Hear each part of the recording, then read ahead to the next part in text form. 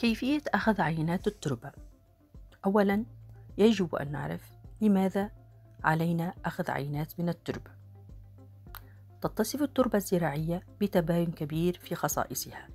لذلك يجب أخذ عينات من التربة بشكل متكرر لتحديد خصوبتها والتوصية بالتسميد المناسب للحصول على الإنتاجية المطلوبة لكل محصول. كم مرة يجب أخذ عينات من التربة؟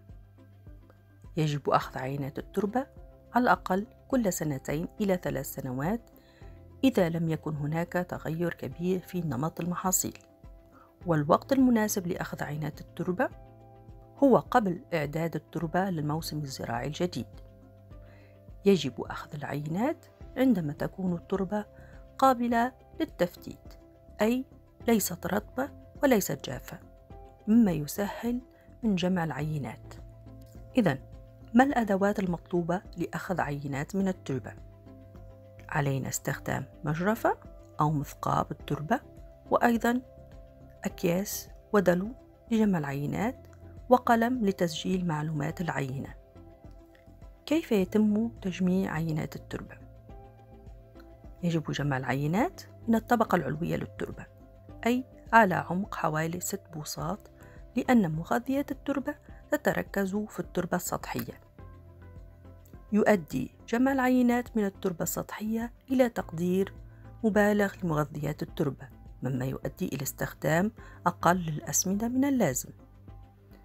يؤدي جمع العينات من مناطق أعمق إلى تقدير أقل لمغذيات التربة وبالتالي استخدام أسمدة بكمية أكثر من اللازم مما يزيد من تكلفة الأسمدة لذلك يجب أخذ العينات من المنطقة التي حول الجذور التي هي على عمق حوالي ست بوصات. كم عدد العينات التي يجب أخذها من العقل؟ إن كانت التربة المزروعة متجانسة فيجب جمع عينتين إلى ثلاث مدمجة على الأقل لكل هكتار. إذا كانت الأرض غير مستخدمة من قبل فيجب أخذ عينات تربة أكثر. ويجب جمع حوالي خمس إلى تسع عينات من التربة لدمجها في عينة مدمجة واحدة والتي تمثل منطقة أخذ العينات بأكملها. يجب وضع عينات التربة المدمجة في كيس بلاستيكي وتسجيل البيانات مثل الموقع والتاريخ وعمق التربة والمحاصيل المزروعة سابقا بوضعها على الكيس.